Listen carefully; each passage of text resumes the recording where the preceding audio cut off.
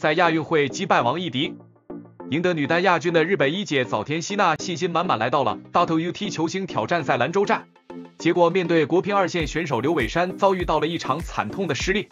虽然刘伟山目前只能算国乒二线选手，但中国队队内自然是人才济济的，只要给他们机会挑战高排名的外协会选手，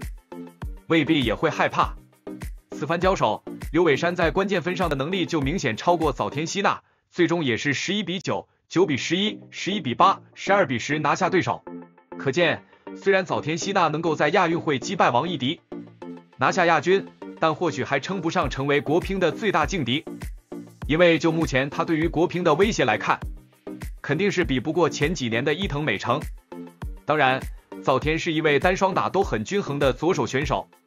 之前在混双比赛中，他搭档张本智和击败了林高远与王曼玉的组合。